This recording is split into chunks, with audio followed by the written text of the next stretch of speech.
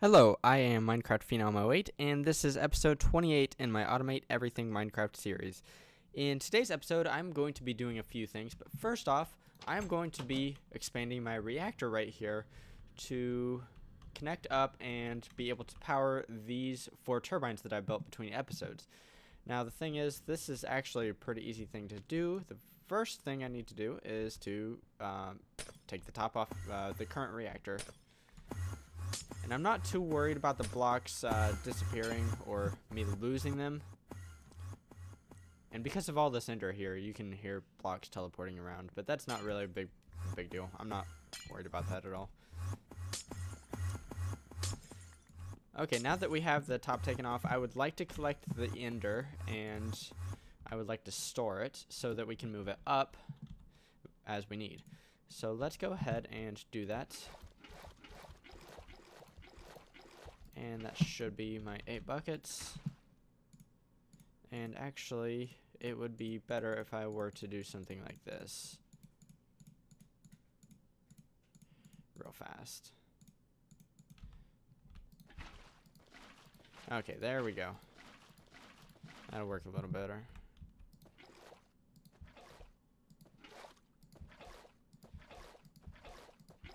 I need that last bucket. Okay, that should be all of the ender. Whoops. And now what we can do is we can pick this bad boy up and haul it up with us as we need.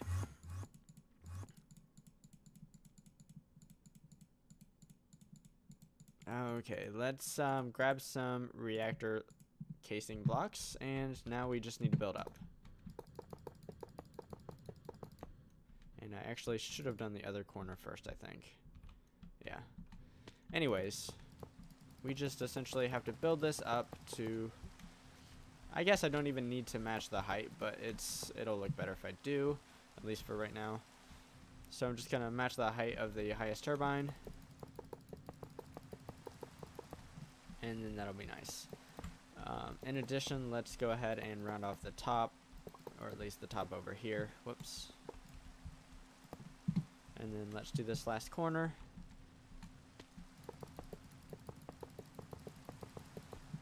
Okay, that is perfect actually. I wish it would not be raining. In fact, I might go to sleep to stop the rain, hopefully.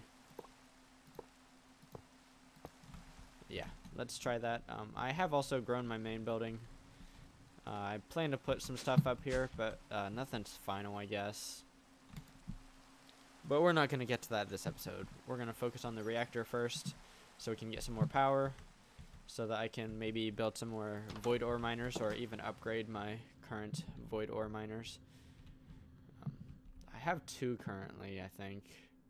No, no, no, no. I have one currently, but um, I have another one that is a void resource miner. So now that we have all of that done, let's go ahead and take the fuel rods up. Let's also grab some of this stuff. That way we're not too wasteful. And almost there. Uh, I think one more. Yes. Because we still need room for the uh, cap at the top. Uh, I think that's perfect.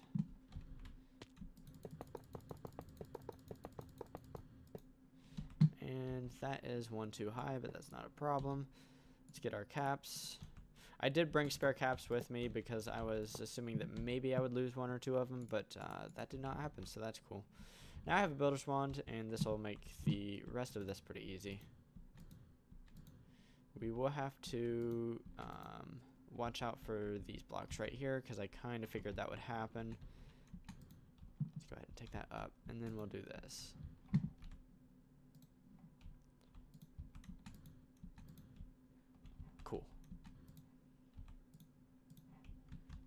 And boom. And then we're to have to worry about this again. Oh, do I not have enough glass? I don't. I'm out of glass. So let's grab some more. Reactor glass, if I remember right. And we are definitely to have to make more of this. So let's just type in a big number. And okay let's make sure we don't have any. Actually, that almost perfectly worked out. Whoops. Okay. And once again, we're out. We have more on the way. It's taking a little longer than I would have hoped, but that's okay. Oh, I'm stuck. Okay, I think we need just a little bit more and we're waiting on graphite. But that should cook up pretty fast. Okay, so we're making this and then we should convert to making... Cool. Okay, so... Oh, we're going to be close. I don't think we're going to have quite enough.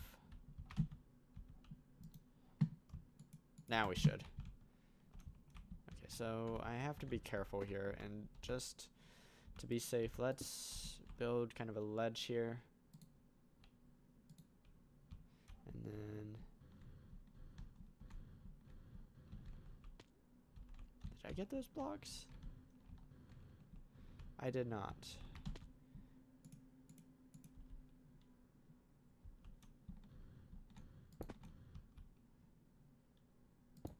So, did I get these? I did not get this one, I can see that. I did get that one, okay. So that should be all good. Uh, let's go ahead and get rid of that block. Now we need to put the ender back in. So let's get our tank. Let's set it up, say something like right here. And then we can start placing this stuff. So just like last time, we're going to have to do something like this to make this work. And then let's move all our buckets like so. Let's actually do this. Because we will need the pick. Actually, we'll need uh, some of the cobblestone as well. So ender there. And I'm only placing the ender where I strictly need it. Um, just to be kind of economical, I guess. Okay, so we have something like eight more to place or something like that. Okay. Okay, do I have on the sides here? I do have on, on the sides of all the rods, so... So yeah, I'm gonna be, whoops, I'm gonna place that there. I'm gonna be one bucket short, but I should have that over here. Perfect.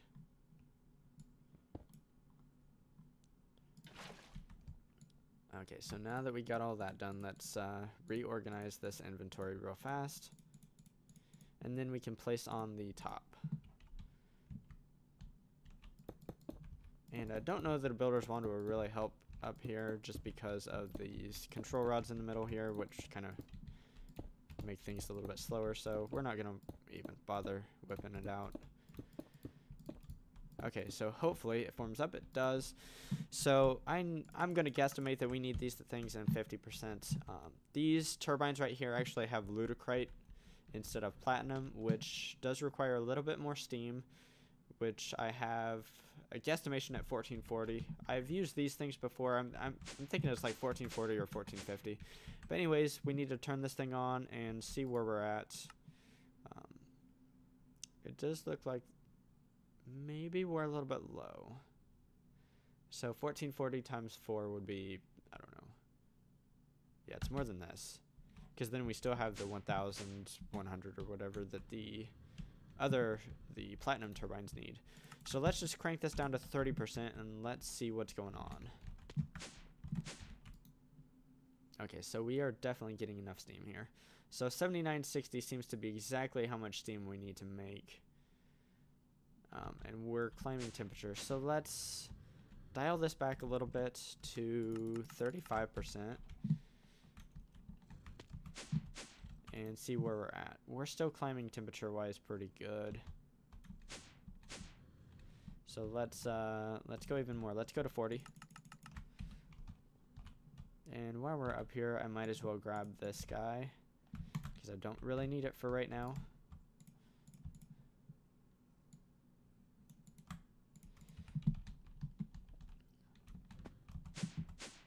Okay, let's try this again. Still climbing. Okay, so we're still still hot.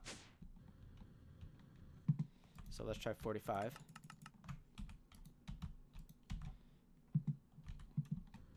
I know for a fact that 50 wasn't enough. Okay, so our temperatures are seem to be pretty even.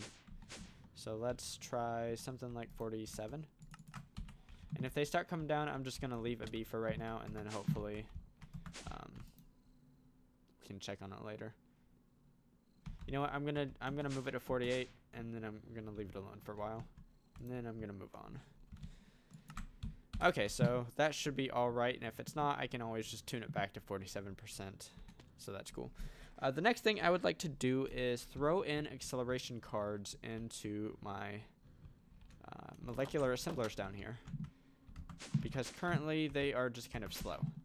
These things, I mean, they're not really slow, but they're they're not exactly speed demons or anything. But if we throw in acceleration cards, which we have a bunch of because they're not too hard to make, they're just pure Fluix with advanced cards. So each each um, acceleration card needs one calculation, or uh, each two acceleration cards needs one calculation processor. So that's not too bad. So I built a bunch of them in preparation for this. And what we need to do is just simply shift click and then we will have acceleration cards in here and these things will be much much faster now which is nice to know. What I'm going to do is I'm going to go ahead and do the rest of these off camera because it's just a simple shift click procedure and then I'm going to be right back. Okay, I have all of the acceleration cards installed. I needed 200 of them as I have 40 molecular assemblers down here, and each of them required 5 acceleration cards. So I used 200 of those, so that's 100 uh, calculation processors, which isn't too bad as I have like 2,900 of them apparently. So that's all nice and dandy. Now the next thing I'm going to do is set up an automation for something that would typically be kind of difficult to automate, but we're going to do it anyways. And that is for the uh, Sir Pure the pure Fluix crystals and the pure Certus crystals. I could also set up for the pure nether quartz crystals, but I don't know that I ever actually need to use these things, so I'm not going to worry about it.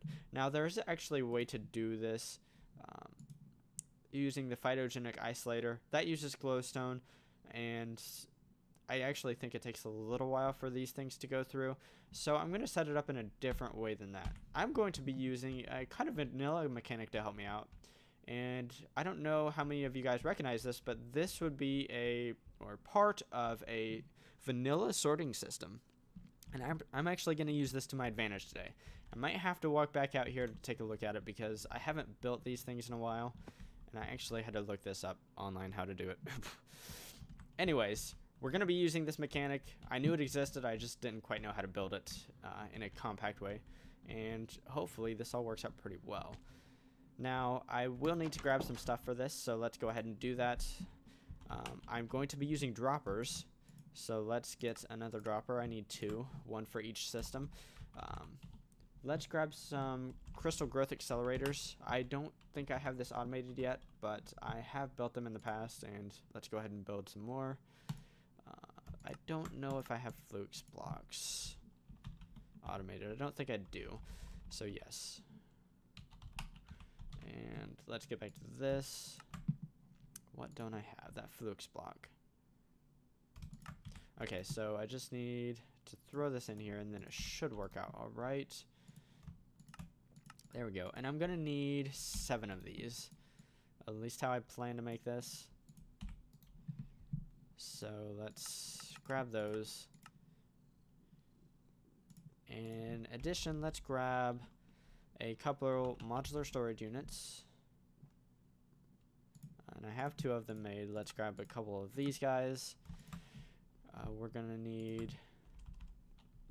Let's do some item conduits. I don't have that automated. Let's go ahead and automate that while we're here. Where, oh, where's the item conduit? right here. Cool, that should be more than enough. We are going to need at least two ME interfaces. Uh, we should only need two to be honest. So let's grab two.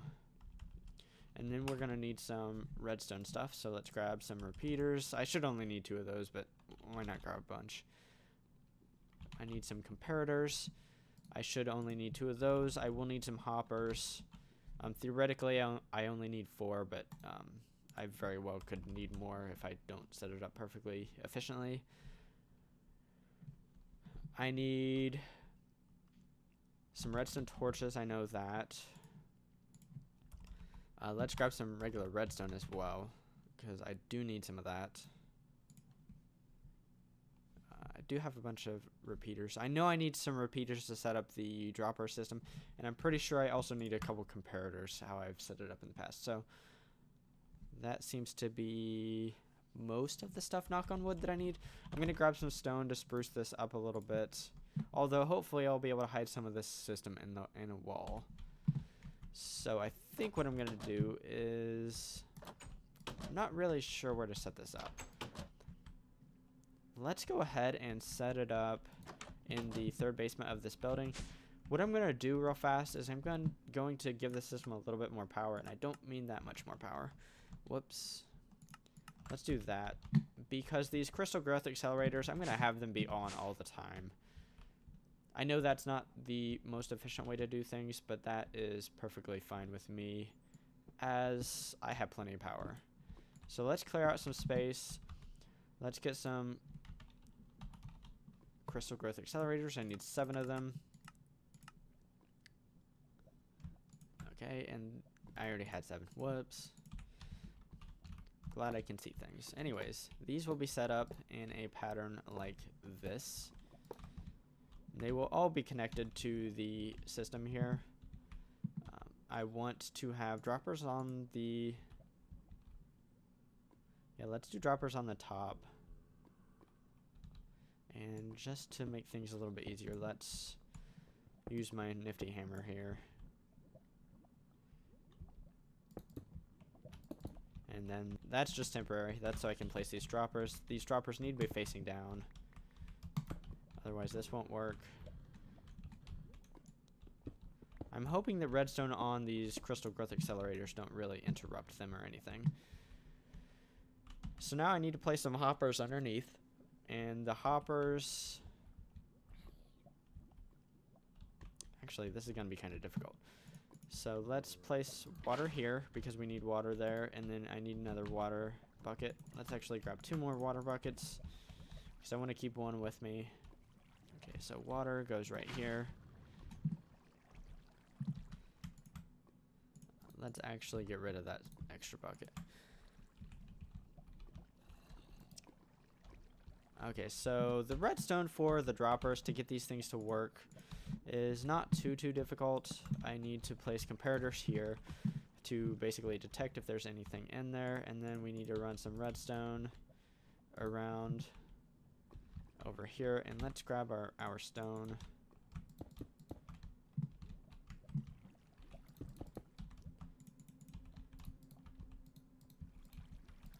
I actually need to put stone here as well. I don't need redstone there, I don't think. I don't know why I put it there.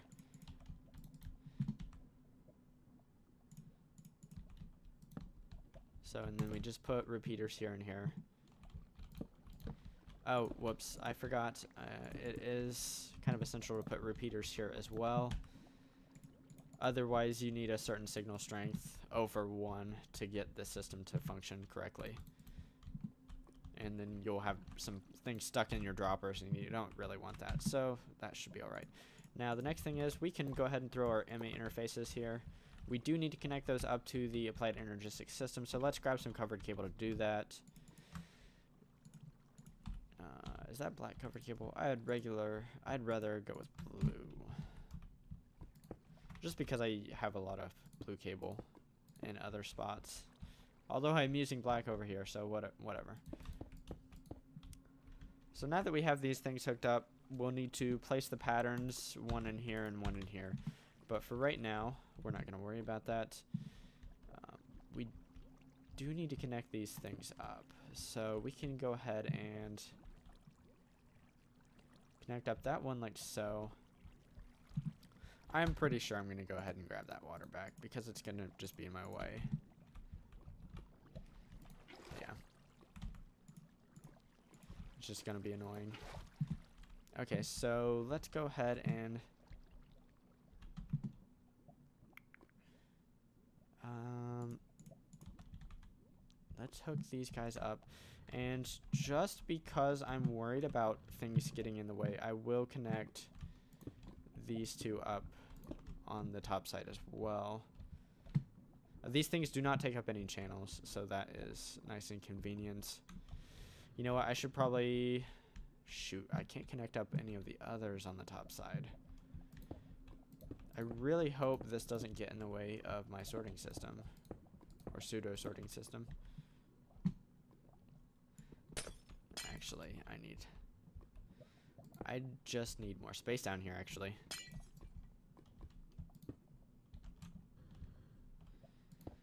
So let's let's make a new way down here. Okay, so now I need some hoppers.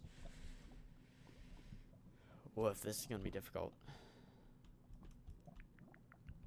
I might actually have to remove some of these accelerators. I think I will. I think that's what we're gonna do. I think I'm going to remove this one and the one on the side over here. Just because I don't think I don't think the routing works with the applied energistics cable if I have that there. Um, it will slow the system down just a little bit, but I think we'll be okay. It doesn't need to be super fast or anything. So let's reinstall these comparators. Let's reroute this cable because now we don't need it to swing over here.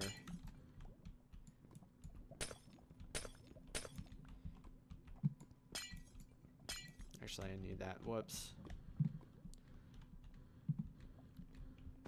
So since I have the rest of them connected on the top side, what I can do is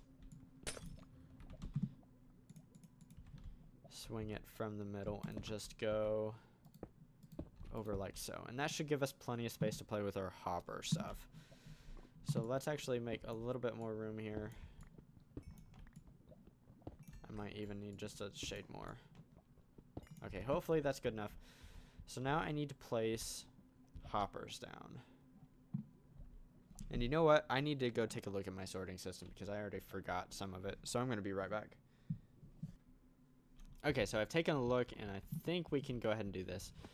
So the first thing I need to do is I need to get a comparator. And I need to place comparators right above this block space. So let's go ahead and place down some cobblestone. Let's grab our comparators. Sweet, I can reach them. I definitely am going to need some more space over here, though. And I think I need a little bit more space underneath, too. So let's go ahead and do that. Okay, so we will have hoppers right here. And I'm going to shift click them so they're facing the comparators. I'm not entirely sure I need to do that, but that's okay. Next thing I need to do is let's put down our modular storage, which needs to be right here. And we need to include a storage module in each of these, so that's done. And then we need hoppers that go into there, like so. Okay, so next I need block here with some redstone on top. And then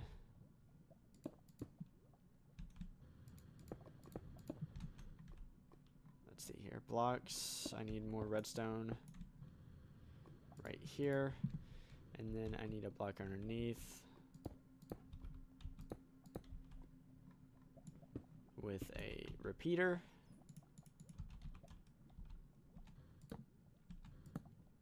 And that is facing the wrong way, I know that. The other one's facing the right way though. And then we need a block right here and there needs to be a redstone torch here. Okay, so the mechanics of this thing, because I haven't explained yet, is that when there's a certain number of items in here, you will get a redstone comparator signal that will be uh, two or more, and it has to be two or more, so that it reaches this repeater, which flips this redstone torch to be off, which allows items to go through the hopper. And that's because if the if item hoppers are receiving a redstone signal, they will not allow items to flow through them. So now what we need to do is we need to get rid of some crap in my inventory. Uh, I will need some item conduits. In fact, let's go ahead and place another modular storage. Actually, no, let's just do an ME interface. You know what? I don't want to do that. Let's just keep an import bus. Let's get some covered cable, which I have already. Uh, let's go ahead and grab modular store. Let you know what? Let's just do a chest. Whatever. So how we're gonna do this is once the items get into this these two modular storage units down here, they actually need to get imported into the applied energistic system somehow. And what we can do is we can just set up some item conduit under here. Boom, boom, boom. This needs to be extract. It needs to be always on. This needs to be insert. And this needs to be extract, always on. So basically anything that goes into these modular storage units will go into this chest, which will be hooked up to a import bus. And let's go ahead and get some uh, acceleration cards uh, just to speed that up. Okay, so that's cool. Those should be all set up. I Okay, so I actually need to remove those hoppers because I need to put water down there. Actually, you know what? No, I'm not gonna do it from the uh, from the bottom side. I'm gonna do it from the top side. This is gonna be a pain in the butt, actually. No, it won't. I think there's an okay way to do this. So if I remove this one right here and place a temporary block right here, the water shouldn't be able to flow out and destroy a bunch of stuff. So we need water block here. And we need a water block over here. And now we can place down this crystal growth accelerator back where it needs to be. Okay, cool. So that should have avoided uh, destruction. Because redstone doesn't like water. Okay, so now the next thing we need to do is we need to grab some pure Fluix crystals and pure Certus crystals. And we need to place them in the hoppers here. Now, like I said, these hoppers will not allow things to go through them when they are receiving your redstone signal. These hoppers down here. So what we can do is we can place a bunch of Fluix in here. But we can actually just do that. What we need to do is this. And what will happen is this will uh, take down the pure Fluix up until a point and then it will stop. Okay, so that's where that went. So let's do the same thing over here. Uh, make sure we're not getting it in there. And then everything in here should be getting imported into the system. Now, the important thing is this should have stopped at 18. So there's 18 plus 1 plus 1 plus 1 plus 1. So 22 items gives you a redstone signal. It's 22 or 23. Gives you a redstone signal of 2. Or, uh, never mind, of 1. If we go 1 or 2 more pure Fluix more in there in that hopper, then the redstone signal will increase it to 2, which will flip this off, which will allow items to go through. Now, it's important that we have these pure Fluix crystals here and the pure Certus crystals over there, so that this hopper cannot pick up the seeds once I start throwing them in the system. So what I'm going to do is I'm going to get some seeds and we are going to test this out. And I actually have them automated if I can spell seeds correctly because, you know, that's hard. If we throw seeds in here, and let me double check that this is the Fluix version, we need to throw the Fluix seeds in here. It should activate this timer mechanism, which activates the dropper, which drops the seeds into the chamber and then they should grow. Let's do the same thing with the Certus seeds over here. And then let's set up a couple of patterns to have this automated. because I should have done that earlier, but I haven't. I'm not exactly sure how long it'll take to grow with three growth accelerators on each side, but it shouldn't be too, too long. So let's grab some seeds. Um, we do need to make more of these, but that's not really a big deal. So basically, one seed should make one pure fluix. So this is one pattern. This is the other pattern. We need to insert these into the ME interfaces. Okay, so as we see right now, these are stopped. So this one was the Fluix version, so we need to throw that in there, and then the um, Certus version in there. Let's go ahead and tell this system, you know what, let's make 100 a view. Let's make 100 a view. And the first part of the system seems to be working pretty well. Um, the dropper is dropping them in. It's receiving its items. Uh, the next... Oh, no, no, no, no, no, no. That's not what we wanted. So I actually just need to reinsert these manually in here, and then they should drop out. I got kind of unlucky that I accidentally grabbed them. So anyways, what I'm going to do is I'm going to keep an eye on these, and I, I, can do that off camera. I'm also going to block this up uh, with stone to make it look nice. I'm going to uh, try to stay away. That way I don't accidentally grab the items. And then I'm going to be right back, and hopefully, hopefully we'll see the, these crafting recipes are finished. Okay, so the crafting is going. I have noticed that one has worked out in each of these, and that's the initial one that I threw in there. And as we see, some of the crafting is being completed, as in it's coming into the system as a pure fluix crystal. So it seems that the system is working, which is fantastic. Now, I know the dropper likes to be a little, a little strange at times with how uh, items sometimes go out, out of the droppers at different directions which is why I left no space around, as in there's only one block space in which it can possibly go to, theoretically. Uh, hopefully that's true, and hopefully everything works out like it should. But it looks promising so far, and it looks like this automation is working. And that's fantastic, because I really like this system. I'm sure other people have built systems very similar, if not pretty much the exact same as this, but I haven't seen them. So I'm pretty proud of the system. Anyways, uh, that's wrapping up point. So in today's episode, I built this system to automatically create pure fluix crystals and pure Certus crystals. It's a pretty nifty system and I rather enjoyed making it. I also improved my reactor in this building over here so that I can power more turbines. Let's quickly uh, check in with that. And it looks like we can add a little bit more steam because that's not quite in the efficient zone of 1800 or so RPMs. So I will probably uh, mess with that between episodes. Uh, and so that is. Uh, also, also I forgot I threw in some acceleration cards into my molecular assemblers, and that should speed up some crafting, and that is nice as well. So if you enjoyed today's episode, give it a like.